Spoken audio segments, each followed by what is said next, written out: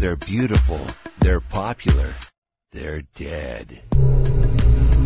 I can usually pick out the popular kids soon after setting foot in a new school. Well, the girls anyway. They wear popularity like a uniform for everyone to see. From their hairstyles, everything about them is torn from the pages of the latest teen fashion magazine. Everything about them is perfect at least on the outside anyway. I thought it would be cool to be like them. But I was so wrong. Dead wrong. Zombie Blondes, a new book by Brian James. Available everywhere.